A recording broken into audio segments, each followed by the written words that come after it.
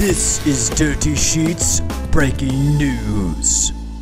Well, everyone. This is Nick from New York, and this is another episode of DS Breaking News brought to you by DirtySheets.net, your number one source for pro wrestling news worldwide. This episode has to do with Bray Wyatt. So, there is a ton of heat on Bray Wyatt backstage because of him dragging the company into his messy divorce with his wife, Samantha Rotunda.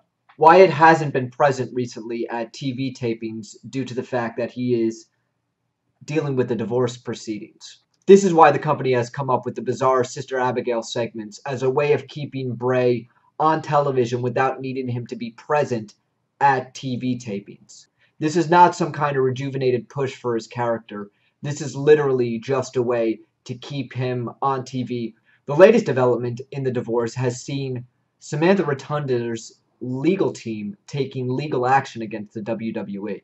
See, the WWE failed to comply with an income verification request by Samantha Rotunda and her legal team.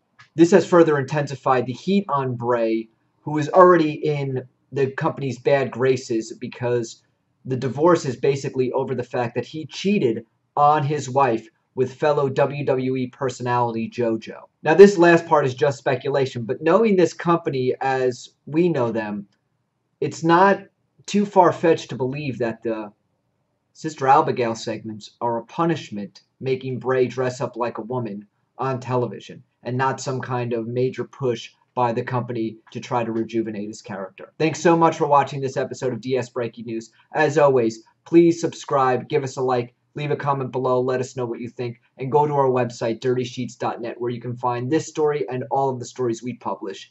It's the number one source for pro wrestling news worldwide.